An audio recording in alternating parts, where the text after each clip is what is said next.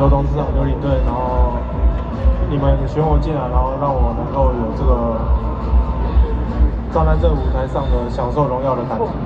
然后虽然今年的贡献度没有像去年那么好，但是我身后的队友们还有教练团们给我很多的信心还有鼓励，然后打下三连霸是真的一个很开心，也是一个很有意义的一年。